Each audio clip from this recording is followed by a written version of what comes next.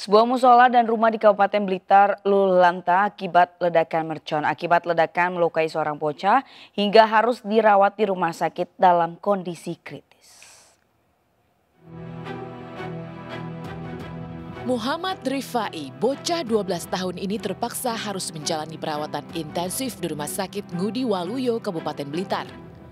Warga desa Madesan, kecamatan Solopuro tersebut mengalami luka bakar 70% akibat ledakan mercon.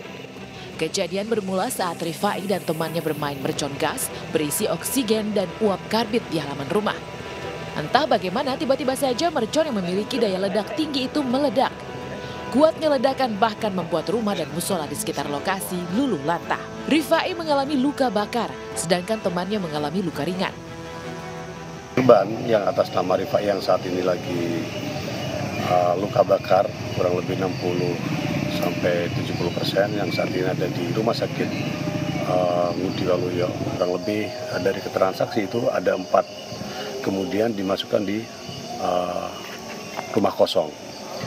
Kemudian selang beberapa menit terjadi ledakan Selamat, Ketua RW setempat menjelaskan mercon gas sudah menjadi tradisi saat Hari Raya Idul Fitri.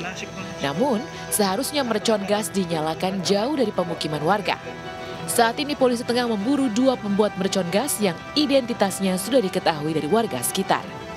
Dari Blitar, Jawa Timur, Robi Ridwan, iNews melaporkan.